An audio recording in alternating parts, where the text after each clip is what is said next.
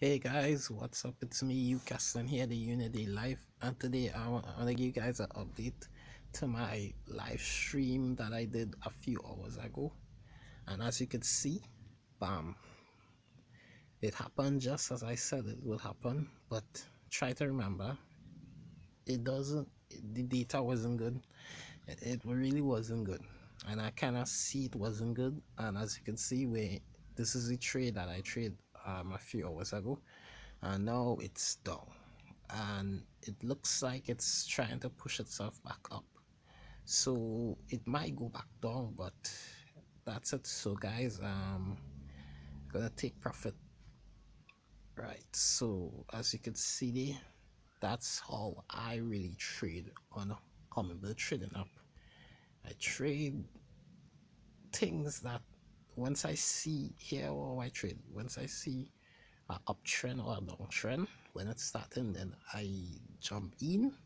And if it trade down, and let's say if it was my real account and I start to make profit over my target, then I withdraw. I I stop. Well, I stop the trade, and if it if I am seeing a bigger target, for like let's say if I'm seeing like 0.70 then I will leave the trade running for these and stuff. So that's what's going on here. And it looks like it might go back down some more but um, I'm just gonna see how it is and I'll, I'll probably get back to this tomorrow. And then I'll look at it and see what's going on but that's just prove my point. So if you like what you see, you could join Hummingbird Trading app. If you want to join, the link is down below in the description. And that's how I trade on Hummingbird Trading app. And honestly tell the truth, it, it works for me. I mean, I, I, I have a strategy, but the strategy, I call my strategy is high and low strategy, which meaning that I trade uptrends and downtrends and stuff, and that's it. So you know and i told you guys the target really was 0.71 it is still a target but i can't see it. It could it could hit it today you never know. But next week next week is an, a brand new week and i will i will probably enter the street but not for now. The candlesticks honestly tell the truth it's a little too small so i ain't really so sure it could possibly go down but it could also reverse and go back up. So that's why I, need trade and stuff. But let me just tell you something right guys? The high volatile event pushed this thing down right? This was a combination between the USD and the NZD USD both high volatile events. Now somebody there was a few people who say that trading high volatile events is like gambling. No actually is very easy. You just have to use your head and look at what you and you have to go back in the past and see how the the data affect the pair so i knew it was bad. I knew that i had to trade this pair because i had a multi um I had a multi um high volatile events between the USD and the NZD USD, which was a both of them had three bolts, right? So I had to trade this pair because I wanted to trade it. But as you can see, we are right now in the NZD um, volatile event and it pushed the price down as I said it would and it's still pushing down the price.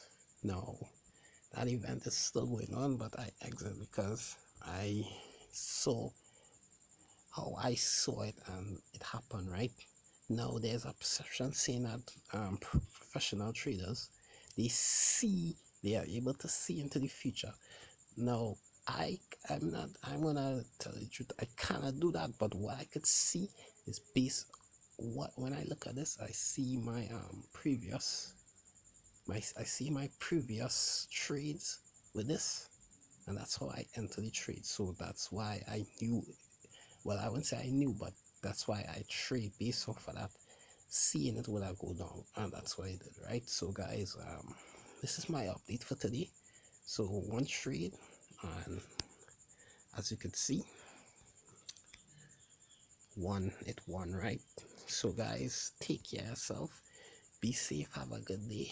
And remember if you could make a lot of money on humble trading app it depends on how you invest but sometimes you have to do that extra hard work you know don't just come and have the trading and trade based off of your guessing you have to really look at the pair. You have to go into heck wise who's out watch news and write down what the people see and look at the words because sometimes the words in the news if in the news can also affect the pair. So you have to watch the words and look at the um data and stuff.